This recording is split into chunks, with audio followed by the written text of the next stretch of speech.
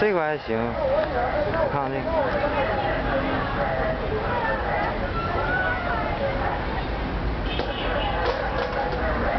我叫张国贤，我是鞍钢博爱甲子站嗯那个员工，呃，今天我我要那个通过通过这种方法了解一下鞍钢甲子站那个工伤患者制作的假肢的情况。师傅您您贵姓？我姓张，呃，您叫张宝峰。张宝峰。每年您做的那个病理鞋啊，呃，在甲甲子站做的那个满意吗？做的假一假肢鞋我不满意，啊，就究竟什么哪哪什么情况让您不满意呢？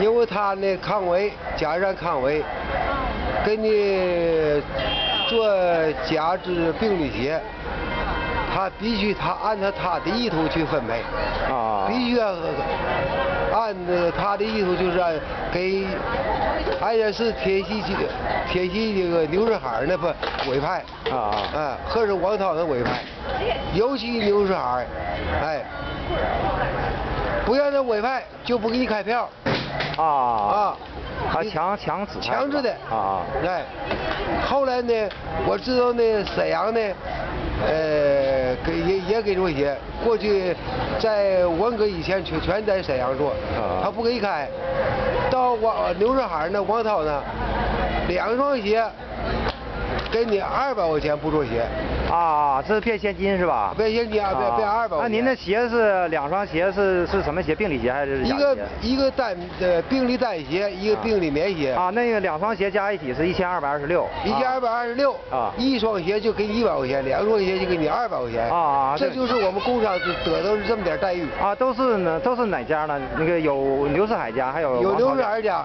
有王涛家，啊，都有都办过这种事情，都办过这种事啊啊也没少办。啊啊啊！哎，后来呢，时间长了，一年复一年，就知道了呢，沈阳呢，转到沈阳最低给百分之六十，加油站扣了呃是百分之四十。啊，是哪家？沈阳是哪家呢？沈阳就是什么什么什什么？沈阳总共两家，一家是荣军，一家是康利。是康利。啊，嗯。啊，到康利那呢是扣百分之三十，他是在什么基础上扣百分之三十呢？就是什么呢？就是在你那个加油站给呃一千二百几，加油站扣四十百分之四十，而这个六十转到啊那个沈沈啊沈阳沈阳又快扣百分之三十。啊啊哎，我们剩下的变的现金呢啊啊，也就是呃五百多块钱。啊，这就是我很满意了。原因满意是比那个呃两双鞋二百二百块钱，那就多的多了。那那为什么甲子站非得那个把那假肢这个钱为什么要非得要转到外外人那儿？呃，用外人得洗一下再再到你们手呢？这种情况您您您您们了解吗？为什么要外边外边那个呃个体户要要扣扣下一部分呢？这这情况具体的内部情况您了解吗？这叫什么呢？这就都吃那工伤，吃就好的有胳膊有腿儿的，吃没有胳膊没有腿儿的。啊这是个，这就是现在的现实。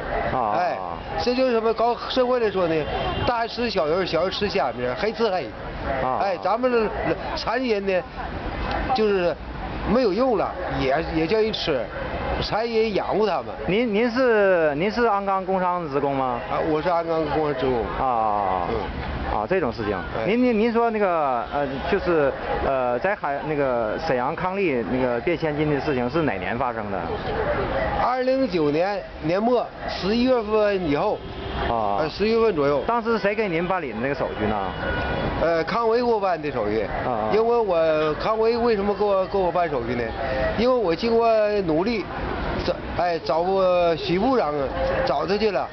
因为康那康呃康维呢，必须叫徐部长签字，他能让沈阳转，不然还是让刘志海的外委派。啊我操了，逼着你，不就哎，后来没办法了，我等了一个多月，我来找找这个徐部长，哎，天天找找着了，后来徐部长说的啊，这个业外围呢没有固定地点哎，给康辉打电话，康辉无可奈何呢，我到那去找去了，他没办法了，没话可言了，就给我开了，啊。开到沈阳的，啊。哎，但是给我开的是百分之六十，给我扣了百分之十，这百分之六十呢，当时说的你要不你要不要一个用呢，那我那个不愿意去呢，哎，那个我给你四十块钱，四十啊呃？是不是？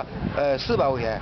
啊，那你就啊，康辉跟您说过，就是您要是呃不这这票给我的，我给你四四百块钱。啊，就是您您当年如果不做这个鞋，哎他康维本人给您四百块钱，他本人给我四百块钱，啊，那您您同意了吗？我没同意，我说不行，我说不，啊哎，啊啊，还有这种事情我说你给我开啊啊，哎，所以说呢，在这时候呢，这就说这句话当中，这有过程，他还没动笔给我开到沈阳的，啊啊啊说完我不不行，我实在坚持不行，我就我要开票，就给我开了，哎。啊，那您在沈阳哎当这四，是我没要他的四百块钱，我就非要开这票吧，上沈阳。您当年在那沈阳那个抗议拿到多少钱呢？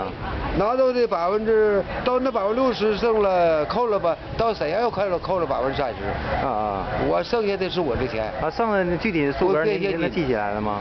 这数额是五五百六十，啊，还比那个康威给您的多是吧？对多一百六啊，啊啊，来回的路费呢给报了吗？呃不来回路费我单位给我报的，啊啊啊这种事情哎啊啊今今天是几号是不？